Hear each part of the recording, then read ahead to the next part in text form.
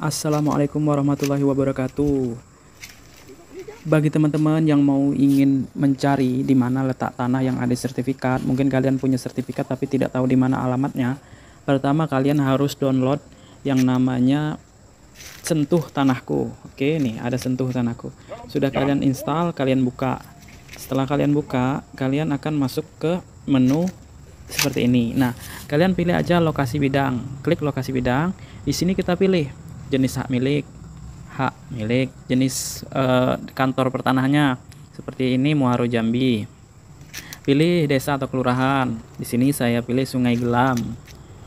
Gelam. Nah, kemudian masukkan nomor sertifikat.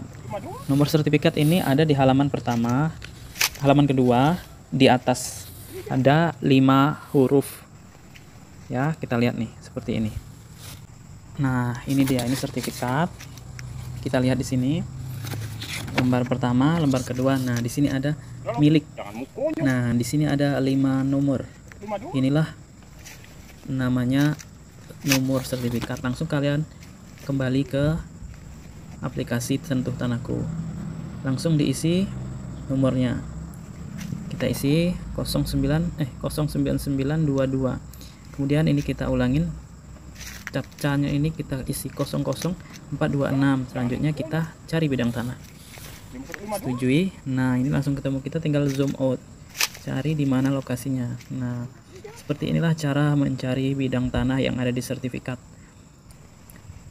Oke, terima kasih. Sekian